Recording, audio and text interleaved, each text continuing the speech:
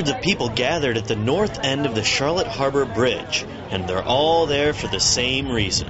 It's 4th of July and it's the Freedom Swim. A whole bunch of people swim across Peace River. I asked a few people why they were doing it. Why not?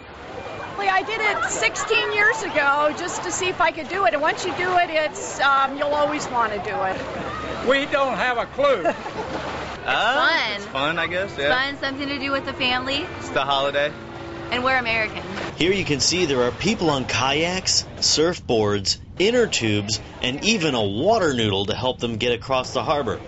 However, others required no flotation device whatsoever. How I did it free swimming. All I needed was the goggles and some swimsuits. That feels good. It feels good to get first, you know. You know, I was hoping my brother to get second, but instead we got our good friend Andrew Moran got second. My little brother followed closely behind. 18 year old Hughes swam the one and a half miles in 33 minutes and 20 seconds.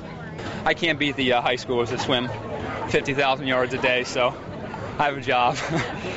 From Charlotte Harbor, I'm John Andrews, SNN Local News 6.